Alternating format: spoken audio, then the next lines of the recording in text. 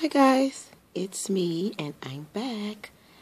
Um, what you're looking at is just my little my baby's car seat canopy, and um, this is the one I chose with this print on it, and it goes up to the car seat. Let's see if I get this right. Hold up.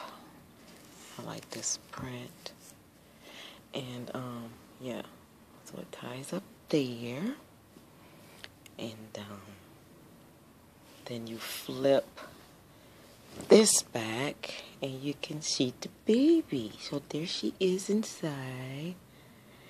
And I had to take her little hands out of the um, the sleeves of this this snowsuit. She was very uncomfortable. And I had to give her a little toy to play with so that she would be okay and all this stuff. She is not used to this, guys. It was so cold out. It's snow where I live, and baby girl was not used to it. So she has her little feet in, and um, as you can see, yeah, the inside of my corn, my canopy is like this um, gray color. I really like it, and so I think it goes well with my boys and my girls.